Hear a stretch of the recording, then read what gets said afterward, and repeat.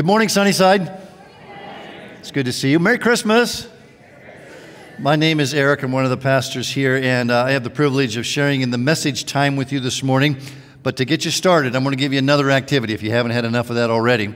And I'm going to do a quiz. So, all of you Bible nerds who um, think you're pretty good, here's your chance. I'm going to give you a quiz, and just to let you know, the first person that I did uh, this quiz with was our, our, our student uh, pastor, Micah, who's with, at the hospital with his wife having, well, they already had their baby uh, with, her, with at the hospital this morning. Um, he scored 80%. And that's just a youth pastor. Come on, you can do better than that. Let's see who can get 100% on this quiz. It's all about um, obscure people in the Bible. So on your tables, there should be a folded piece of paper in half, unfolded, or on those tables up there. Grab one of those pieces of paper. It's under, maybe underneath that little uh, uh, deal you got there, that uh, acrylic thing. Um, I want you to match these names, okay? If you're watching online, here it is. You can uh, match these names, do the best you can. We'll give you just a couple minutes to do it. Let's see how good you are. Use all the resources you have, all right? Uh, just a hint use all the resources that you have. And your marks can say go. Match the names. Got two minutes.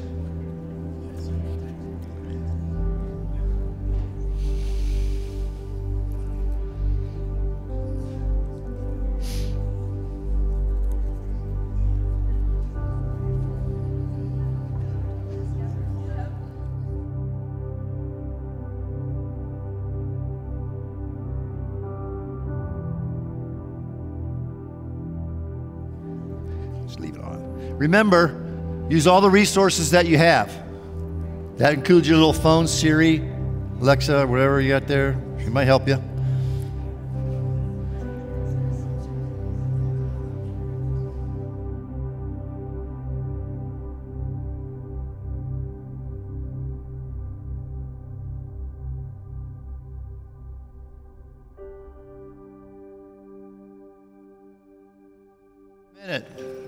If you're sitting at a table with somebody that uh, you don't know, make sure you introduce yourself somewhere along the line, all right?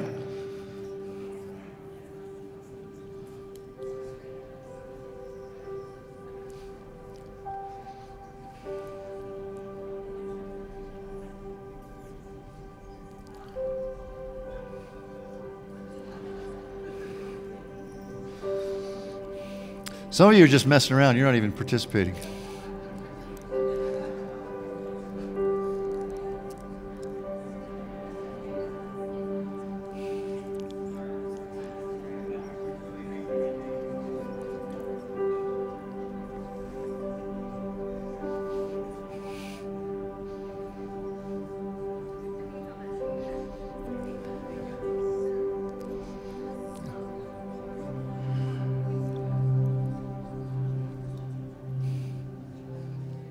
Okay, time's up. How many, did anybody get them all? Do you think you got them all? Kara? You cheater. Okay. She's in first service. Doesn't count. Anybody? Nobody got them all. How many you got maybe 8 out of 10? Ooh, you guys are really bad. Half of them. Anybody get half of them? These are really obscure names, aren't they? You've never heard of some. Here's the key. Put the key up there for everybody if you want to check your answers to see how many you got right. Um, one, one, one group of people got them all right this morning in the first service, but uh, that's okay. You guys are, you can stay. You can stay, all right? The, the point of this is there's some obscure people in the, in the Bible, but guess what? They're in the Bible, right? God noticed them and God put them there for a reason. This, this Christmas season, we are doing a series of messages called Noticed. And it's about noticing people by noticing some of the lesser known characters in the Christmas story. Here's the deal we realize that everybody wants to be noticed.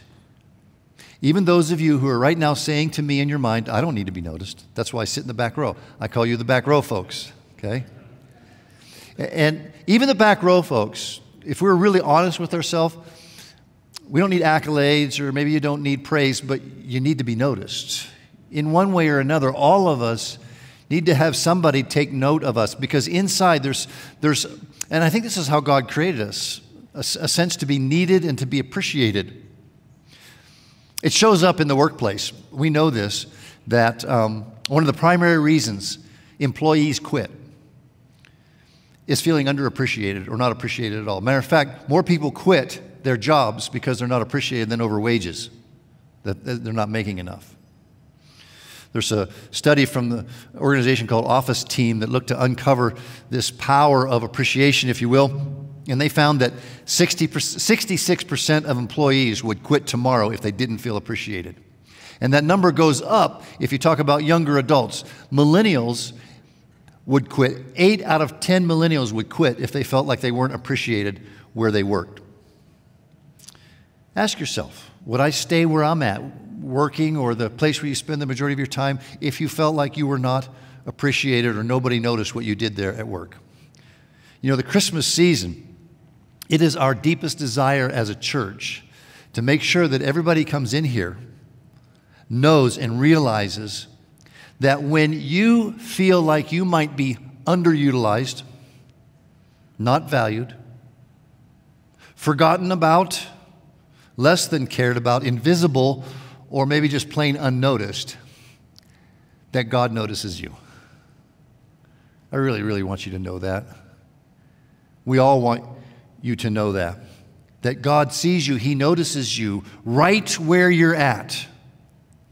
Now, last week, Corey started this series off by a lesser known Bible character in the Christmas story by the name of Zechariah. Zechariah was the father of John the Baptist. Now, most of us have heard about John the Baptist, but we may struggle to name his father, but it was Zechariah, and just how God noticed his pain. He and his wife Elizabeth didn't have any children. They were barren, and it went on like that for decades until they were in their old age before God performed a miracle and they were able to conceive a child. And God noticed that pain. This week, we're going to notice another, perhaps even lesser known Bible character, Simeon. Now, of all the plays that you've seen, the Christmas plays with the shepherds and they come down the aisle and the three wise men and all that, you probably didn't ever have a Simeon in your play. But he plays an important role in the Christmas story, and we're going to talk a little bit about Simeon today. And just to show you that God notices people like Simeon, he notices people like you and me, and he notices, in particularly, not only our pain, but he notices our joy. Okay? God notices our joy. And so the big idea for today is notice the joy. Can you say that with me? Notice the joy. One more time. Notice the joy. Now, you think that'd be a no brainer during Christmas, right? Not so much anymore. I think that we are trained and we are taught right now to notice the negative in our world. Well, I want to change that this morning, and let me tell you the story of Simeon's joy. It's found in Luke chapter 2, and I want you to get your Bibles out, turn them on if you have them on your phone or whatever. Um, but we're going to look at that in just a minute. And Jesus, as a baby, is about a month and a half old. He's just 40 days old, uh, a month and a, and a week old, I should say. And according to the law in the Old Testament, at this time, uh, a child was to be taken to the temple, if it was a firstborn male, to be dedicated to the Lord. And the mother was to go through some purification rituals as well. And so Joseph and Mary were about to do this. They were on their way to the temple to offer some sacrifices on behalf of Jesus, just like the law said they should do, and uh, to present their son to the Lord. Now, they knew, obviously, they had this, this, you know, if you know the Christmas story, they had the visits from the angels and so forth. So they knew Jesus was different, right? It all happened in a miraculous way. And so they understood that, but still life was kind of being weird. It was, they were like trying to raise this normal kid. Um, things were kind of normal, but they weren't normal, so they didn't understand necessarily all what was going on. But um, they're at the temple performing this you know, ritual or this ceremony that the Old Testament required. By the way, the closest thing we would have to that uh, today, in today's world and time, is a baby dedication. We do it every Mother's Day we dedicate our children to the Lord. And basically, what we're saying is the same thing they were saying then is that, Lord, this child is yours. We know that life comes from you, but thank you for granting us uh, the responsibility and the privilege of raising this child. We want to do it the way that you uh, prescribe to do so. So that's what a dedication or commitment is um, in the um, Christmas story. Jesus is going through the same thing. And so, as they're doing this, they're coming into the temple, if you will, just lots of people, kind of imagine just a lot of hubbub going on, maybe like a downtown scene during the parade or something, just a lot of stuff happening.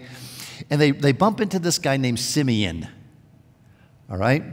We know very little about him, only a few verses in Luke chapter 2. We don't know how old he was, if he was really old or really young. We have some guesses we can make from the context. Um, and, the Bible just says that he was a righteous and devout man waiting for the consolation of Israel. He was a devout and righteous man. So he followed the Lord closely, he followed the law closely. We don't know if he was a priest or, like I said, we just don't know anything about him. And that's apparently not important to the story because God did not include that. But in, in addition to all that, it says that the Holy Spirit was upon him. Now, that's significant to note because we know now on this side of the cross, if you will, in the New Testament time, in modern times, after Jesus, we all have access to the Holy Spirit, and the presence of the Holy Spirit lives within us. Okay? And, and we understand that, acknowledge that that wasn't true in the Old Testament. So for Simeon to have that, to have the presence of the Holy Spirit full time, uh, was a unique situation. And the Holy Spirit led him and guided him and directed him. That's quite the resume, right? Holy, devout, righteous.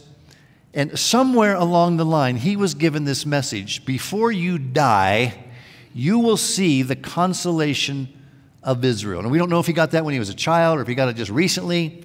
Um, um, but he, he had this message from the Lord that he would not die until he see, has seen the consolation of Israel. Let's talk about that word just for a second because we need to understand what it means. Consolation means comfort. Seems fairly obvious to console someone, to make them feel better. And so this word was used to describe the coming Messiah in Israel. You can find it a couple places in the Old Testament, even in the New Testament. This, it, it, it's, it's almost a word that literally means the calling or the hope or the message.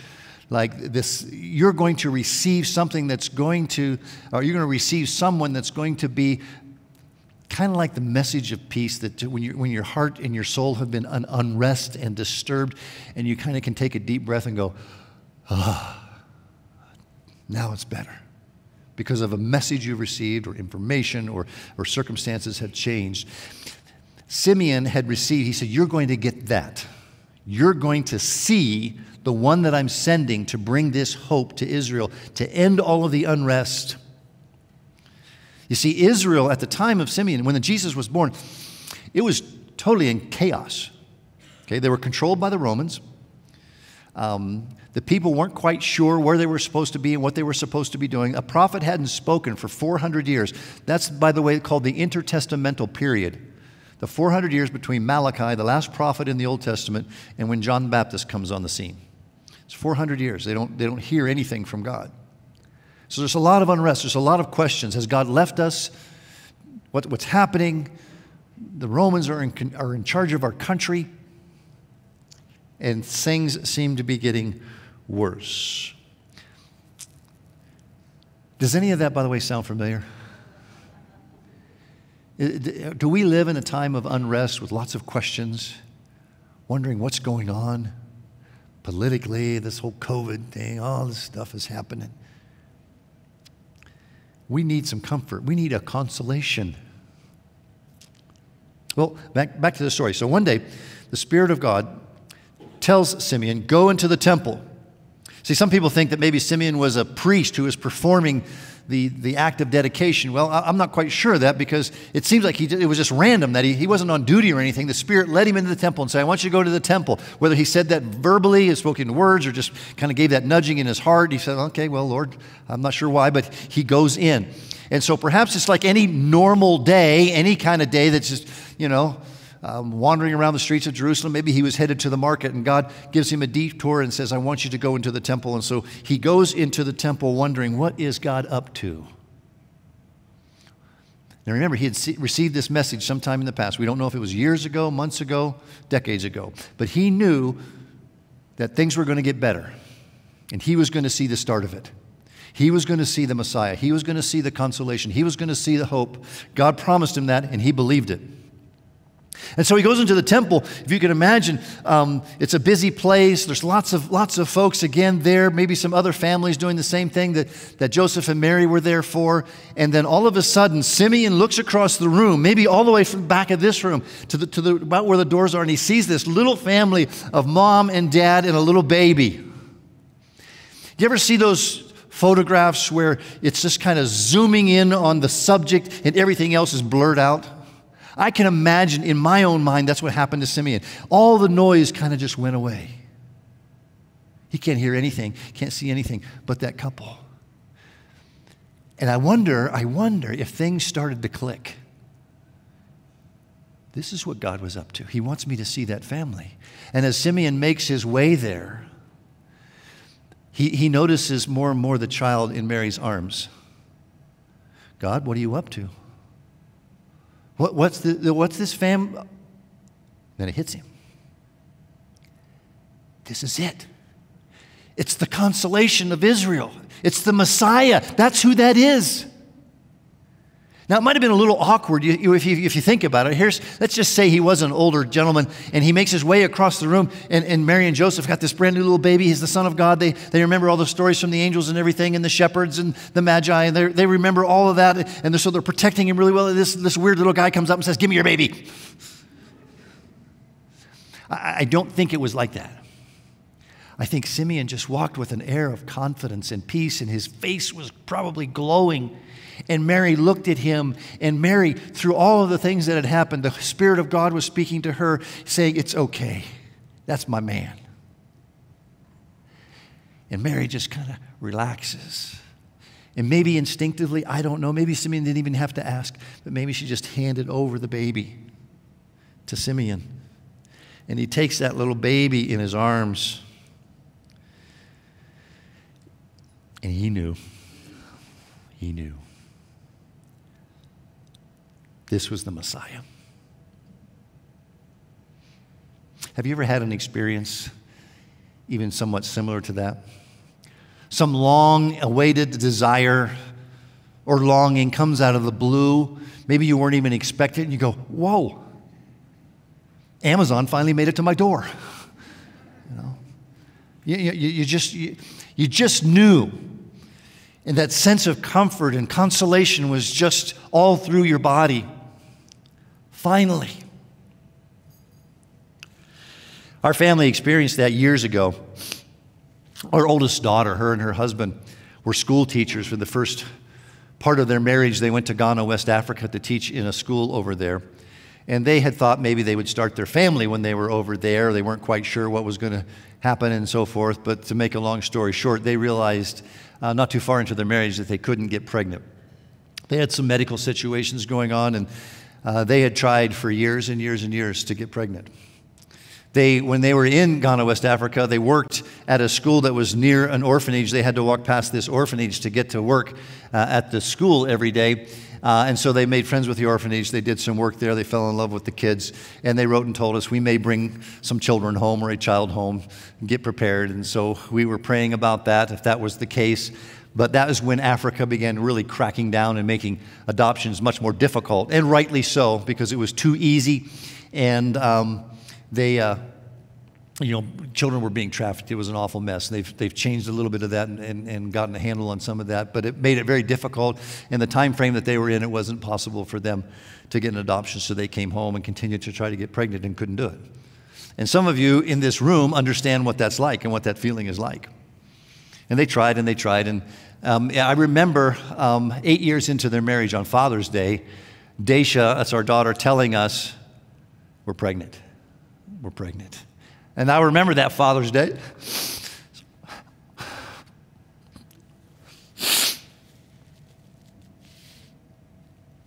Happy tears, right? Happy tears. Kieran, our, our grandson, was born, or was announced to be born, and was born nine months later. You know, when, when you experience something like that and you say, oh, it's time, you just know, right? You just know. And I can imagine Simeon. I just know the tears coming, the joy, the, the, the, the final presentation of the Messiah is here. There's another story that I came across. Her name is Belle, Belle Barbu. She's 25 years old, grew up in an adopted home in Utah. But she knew she was different and she knew she was adopted. Apparently, her family, that family was good to her. And she went on a search, though, for her biological family, just out of curiosity. And she discovered that she was from Romania. This organization, through DNA and other situations, helped her find her family, narrowed it back to Romania, even down to the village she was born in, even to her biological family who were still there. And this organization orchestrated a reunion. She volunteered and said, I'd really like to meet my biological family. Can you imagine being 25 years old, knowing that you had a family out there somewhere, but not even having any idea or any clue where they were in the world? You see, part of the story is uh, her family loved her very much and wanted to keep her, but she was kidnapped as a newborn. The hospital was in cahoots with this orphanage, and they were stealing babies from people, putting them in the orphanage, and then the orphanage was selling them on the market, on the black market. And that's what happened to her. You see, the hospital told her parents, Your baby is very sick, and she's going to have to stay here in the hospital. You go home, and we'll let you know when she gets better. They called her and said, Your baby died. So for 25 years, the family thought Belle was dead. They contacted the family, contacted Belle. They got them together. I want to show you the video of the reunion, not the whole video, but just a couple of minutes of Belle and her family being reunited. Watch this. 15 minutes away from meeting your long lost family. How do you feel?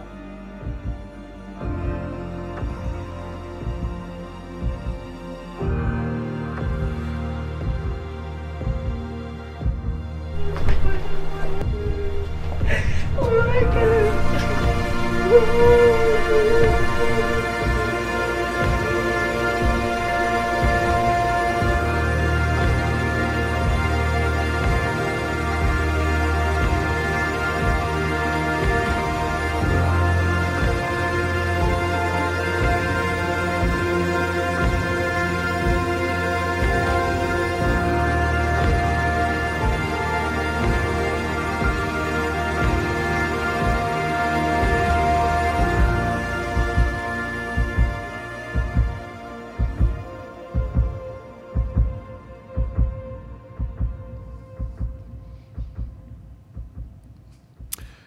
can't imagine what that was like. I can't imagine the, the feelings and the emotions. They're just beyond, they're beyond words, right?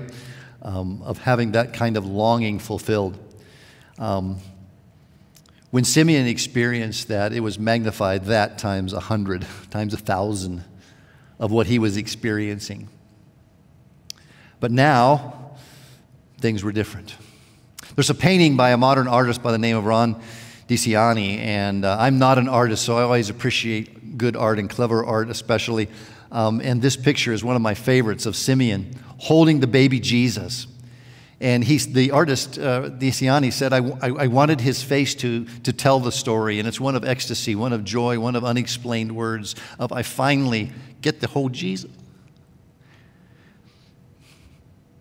The light showing the light of the world as Jesus is called the map saying that um, Jesus came for all the world, not just for the Jewish people, but he came for everybody. And that's what that symbolizes. And that all started when Simeon got to see the baby. And now Simeon's wait is over. He could go and die in peace, he tells God. God had noticed this obscure man of righteousness and devoutness. And I don't know about you, but I kind of think that in that scene, God was looking down and crying and laughing and, and, and hollering with Simeon, noticing his joy. Because Simeon had, he had to have heartache. Their beloved Israel was under the iron boot of Rome. Things weren't the way they were supposed to be. The teachers of the day were a bunch of hypocrites. They were whitewashed tombs, as Jesus called them. People were generally, as a population, apathetic and wandering around, as Jesus called them, like sheep without a shepherd. That's the world that Simeon lived in. It was kind of a mess. And that's when the consolation came, that's when the Messiah came. But here, Simeon was walking around with this smile on his face. Don't you love those people? No matter what the circumstances are, they got this little silly grin on. And it's the grin that says, I know something you don't know. I'm going to see the Messiah. He's coming to fix all this before I die. It's soon, people. Simeon was the embodiment of the scripture found in Romans chapter 12, verse 12. It says, Rejoice in hope. It doesn't say rejoice in your circumstances because they can be a mess. He says, Rejoice in hope, be patient in tribulation, and be constant in prayer. Simeon was that guy. He taught us what that means. And I want you to, to know this morning, all of you, that your long awaited desires, your longings, your hopes, and your dreams they are in the mind of God as well as in yours. Do you ever have a hard time telling your hopes and dreams to somebody? Maybe they're even difficult to tell your spouse or your closest friend. But there is a sense that you need to know that God knows exactly what you're feeling and longing for. He knows exactly. And He knows also that for many of you, it's been a long time already for that to be fulfilled. Are you with me? There's some of you that are here that are saying to me or saying to yourself right now, Yeah, Eric, I get it, and it's been a long time. And it's still not yet fulfilled. To you, I say that God understands that as well. He wrote Proverbs chapter 13, verse 12, that says, Hope deferred makes the heart sick, but a desire fulfilled is the tree of life. So he understands this tension that we go through. And when you're joyful, God notices. God celebrates with you. And God wants you to know that He sees you right now. I want to jump to the story in Luke chapter 2. I'm going to read verses 28 through 32. This is basically Simeon's response to all this. When this started to happen, and um, Simeon knew what was going on, and it all came clear to him. Listen to what he says. And he, he took him in his arms. He took the baby Jesus in his arms, and he blessed God and said, Lord, now you are letting your servant depart in peace according to your word. So what he's saying there is, I can go die now. Because what you said, your word, what you said was going to happen, has happened. Finally, it has happened. For my eyes have seen your salvation that you have prepared in the presence of all people. He, did, he wasn't quite sure how this whole Jesus thing was going to work out. He just knew Jesus was going to do it. This little baby was going to do it. A light for revelation to the Gentiles and for your glory to your people, Israel. So, all peoples, that's, that's the whole map thing on that picture. For everybody, including Israel. So,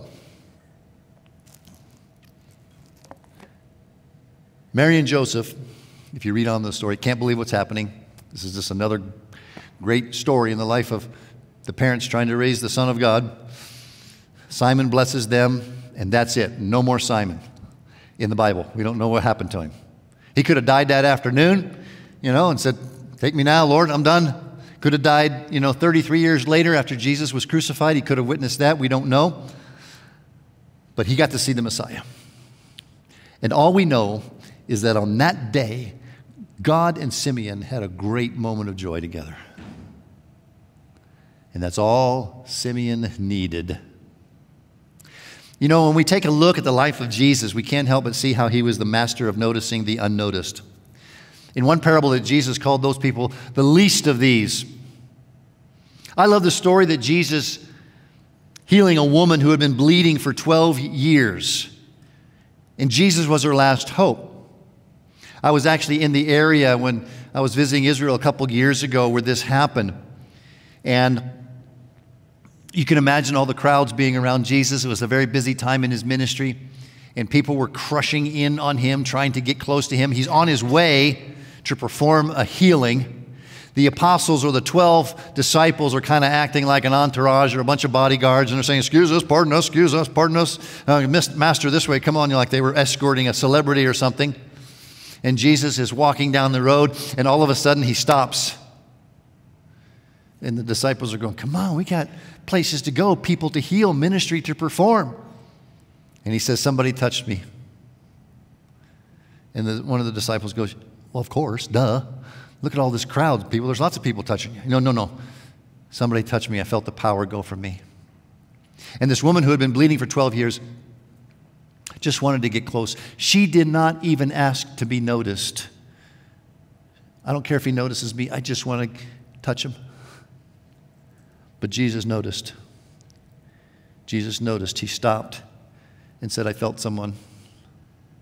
Who was it? And this woman who did not care to be noticed, just to be in proximity of the Master, came close and he said, I, I imagine the buzz is still going on. People are saying, Come on, Jesus, we got to go. And there's still people talking and so forth. But you remember that picture of just everything else is a blur, the noise and this is gone. This woman looks at his eyes and he says to her in Luke chapter 8, verse 8, Daughter, your faith has made you well.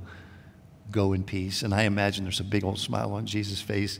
And amongst every, all the chaos, he just winks at her, says, You're good. Can you imagine being noticed? This, we, don't, we don't know that lady's name. We don't know anything about her. We're going to talk to her in heaven too.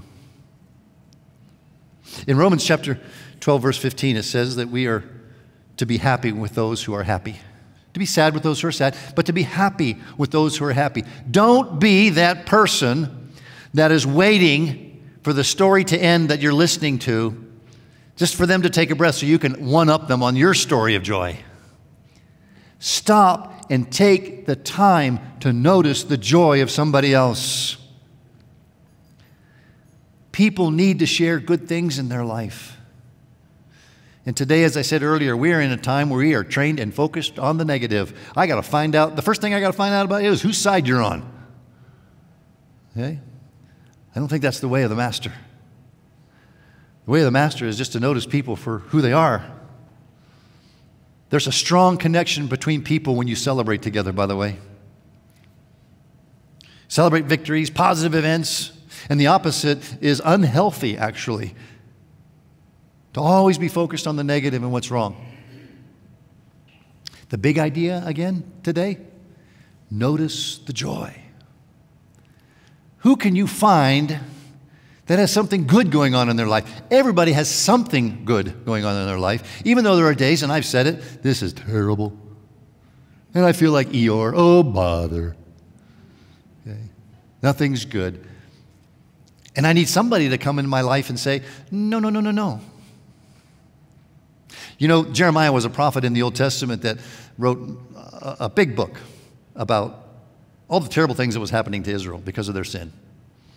Jeremiah is kind of a dark and gloomy prophet. He's called the weeping prophet, actually. He's always crying because things are so bad.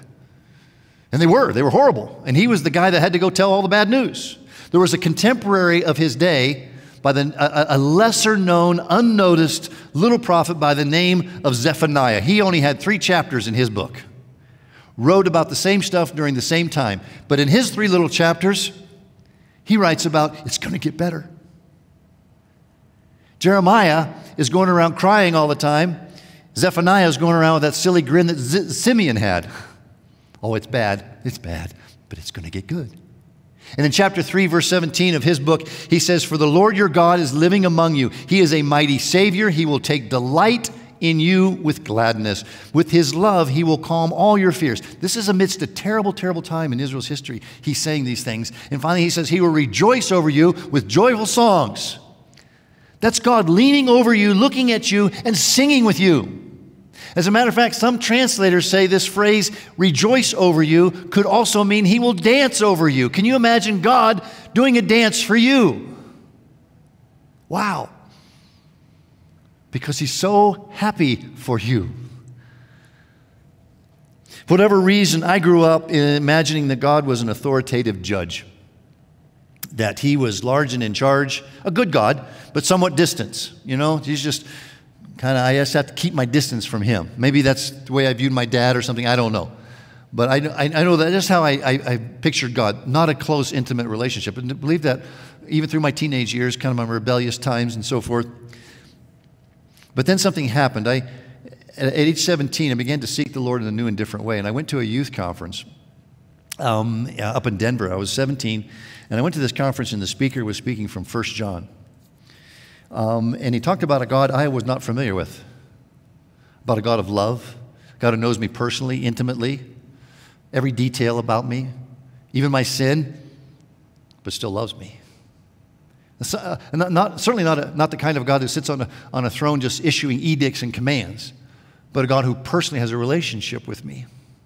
In 1 John chapter 1, verse 9, I was contemplating this verse and contemplating all the things that this guy had said about 1 John. I lost complete track of time. I looked up and there was nobody left in the auditorium. Literally, I looked up and they were gone. And I thought, is this the rapture thing they've been talking about? What happened? The speaker was still there. He came over and asked me if I was troubled. And I said, No, I just got lots of questions. And he and I sat and talked for a long time after that. My own youth group left me. And I stayed there and talked to him about 1 John chapter 1 verse 9 that says, "If we confess our sins, he's faithful and just to forgive us our sins and cleanse us from all unrighteousness." And I said, "Only a personal God, only a loving God, only a God that knows me personally can do that. Not some judge with a gavel waving around his commands in an impersonal way." And it changed my life forever to see God like that, a God that notices me. As a child of God, as a human being created in the image of God, you are created with the capacity to notice people as well. God wants us to be like his son Jesus. He gave us an example. When Jesus noticed people, he said, Now I want you to go notice people. So let me issue a challenge.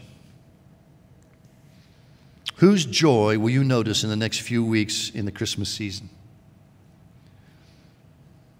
That person at work that no one else seems to take an interest in?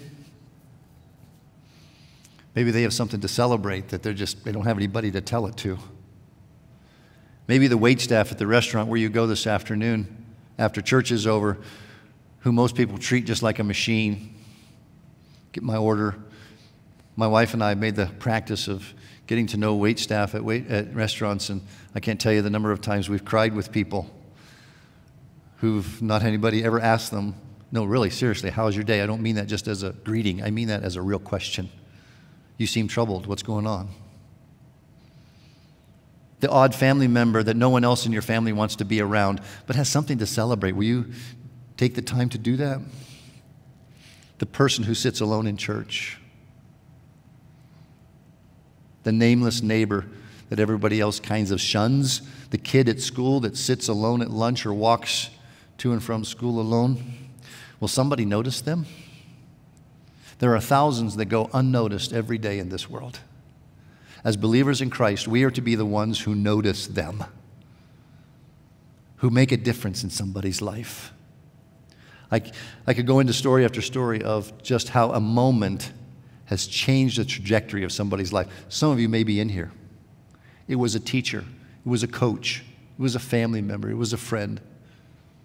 You never underestimate the power of noticing those who don't get noticed. I hope you don't forget who Simeon was. I hope you desire to meet him someday in heaven too. Say, oh, you're that guy. And then all the other people that now you see with the eyes of Christ who don't get noticed. Notice the joy. You pray with me. Heavenly Father, I thank you that you noticed us. That when we were not even paying any attention to you, we were lost and we were selfish and wandering around just looking out for our own interests. But teach us, Father, to be like you, to notice the unnoticed, whether it's a short little tax collector named Zacchaeus hiding in a tree that nobody else cares about, or a woman who has been bleeding for 12 years, or a leper who people want to unnotice more than notice. Teach us to be like you, to notice those people, to notice their joy, their heartaches, their pain, and their joy. Thank you, Father, and thank you for the ability to do this. We pray that your Spirit would lead us where you want us to be. In Jesus' name, amen.